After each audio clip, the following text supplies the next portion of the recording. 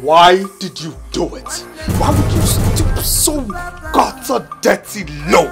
So low! My prince, the ostrich loves the beautiful side of life. It gathers its feathers for beautification.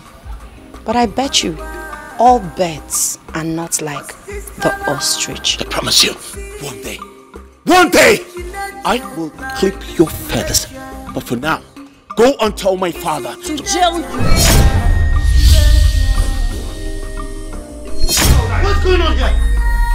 Leonard, you dare bring a gun into my palace? What is wrong with you? Have you gone nuts or something? Have you lost your mind? Who the fuck is this place? Get out! Get out! Get out!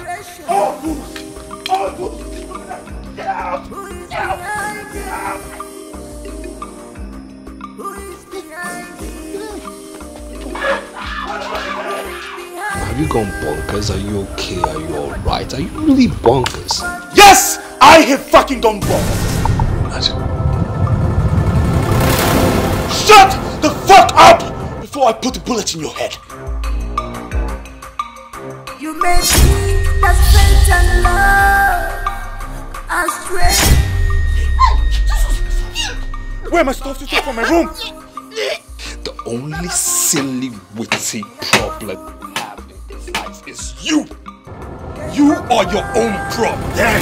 How dare I tell you this? I have done something, my prince. And that is to sit and watch you pay for your sins. Snap out of this your wild dream. You daydream. Grow up. Get a life. I mean, Leonard, get a life. I am a lion that can never be tamed. Lie on my foot. Get out, idiot. All of a sudden, the lion is scared of the prey it once feasted on, right?